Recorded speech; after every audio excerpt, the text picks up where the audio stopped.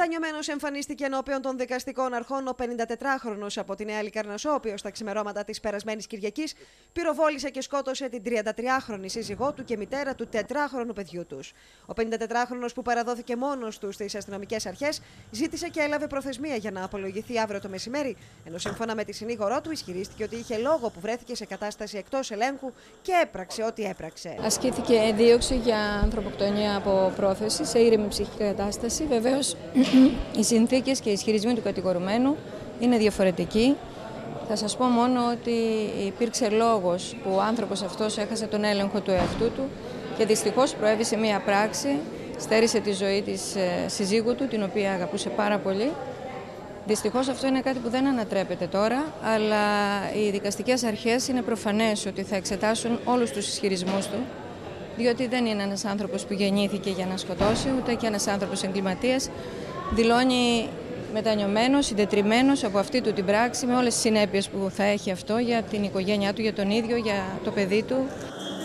Ο 54χρονο υδραυλικός, σύμφωνα με πληροφορίες, είχε εντοπίσει με καταγραφικό σύστημα το οποίο κατέσχεσαν οι αστυνομικές αρχές στοιχεία που τον οδηγούσαν στο συμπέρασμα ότι η άτυχη 33χρονη είχε εξωσυγική σχέση με άλλον άνδρα. Κάτι που εκείνο το βράδυ βρέθηκε στο επίκεντρο ενός από τους πολλούς καυγάδες που είχαν μεταξύ τους οι δύο σύζυγοι.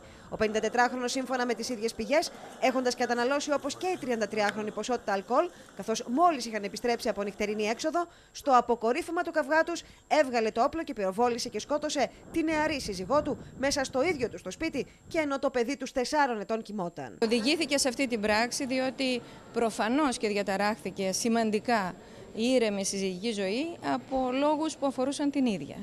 Και γι' αυτό το λόγο ο άνθρωπος αυτός οδηγήθηκε εδώ. Οι ισχυρισμοί του και όσα τουλάχιστον έχουν φτάσει στη δική μου την γνώση είναι ότι πράγματι είχαν καταναλώσει αλκοόλ και οι δύο σε έξοδο κοινή, οικογενειακή.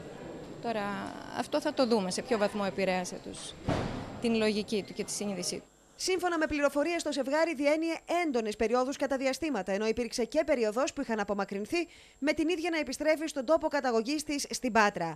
Τη μοιραία πάντως βραδιά, ο δράστης μετά τους δύο απανοτού πυροβολισμούς με την καραμπίνα που είχε στο σπίτι και το θάνατο της συζύγου του, πήρε το παιδί του που αντιμετωπίζει προβλήματα υγείας και πριν παραδοθεί το οδήγησε στο λιμάνι του Ηρακλείου, προκειμένου να περάσει, όπως είπαν μέλη του φιλικού του περιβάλλοντος, κάποιες τελευταίες στιγμές μαζί του, όπως τουλάχιστον ο ίδιος ισχυρίστηκε. Ποιος ε, φυσιολογικός άνθρωπος φτάνει σε αυτό το σημείο; Σημείο.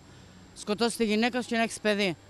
Θεωρείτε ότι όλα θα έγιναν μπροστά στο παιδί; Ε, έτσι ακούγονται. Τώρα, παιδιά, δεν ξέρω. Είχε πάει πίσω στους γονείς της, αυτός έφυγε, πήγε την ξανάφερε την κοπέλα. Ότι τη ζήλευε και κάπου, κάπου τη χτυπούσε κιόλας. Κάτοικοι της Ελικαρνασού, ωστόσο, πολύ κοντά στο σπίτι της οικογένειας, περιέγραψαν ότι η ένταση ήταν ένα συχνό φαινόμενο στο σπίτι του ζευγαριού, χωρίς ωστόσο κανείς να μπορεί να πιστέψει ότι μια προβληματική ίσως συζυγική σχέση θα κατέληγε σε φωνικό. Είχε μείνει μόνος του και γι' αυτό πιστεύω ότι αντέδρασε, έχανε τα πάντα αν έχανε και την κοπέλα και γι' αυτό κάπως αντέδρασε. Παναγία μου, μας έπιασε τρεμούλα, δεν μπορούσαμε.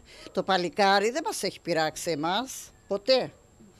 Αλλά μάλλον συνέχεια με τη γυναίκα του. Άβυσο σε ψυχή του ανθρώπου, δεν ξέρεις. Όταν κλείνει η πόρτα του καθενός, τι συμβαίνει μέσα, δεν ξέρεις.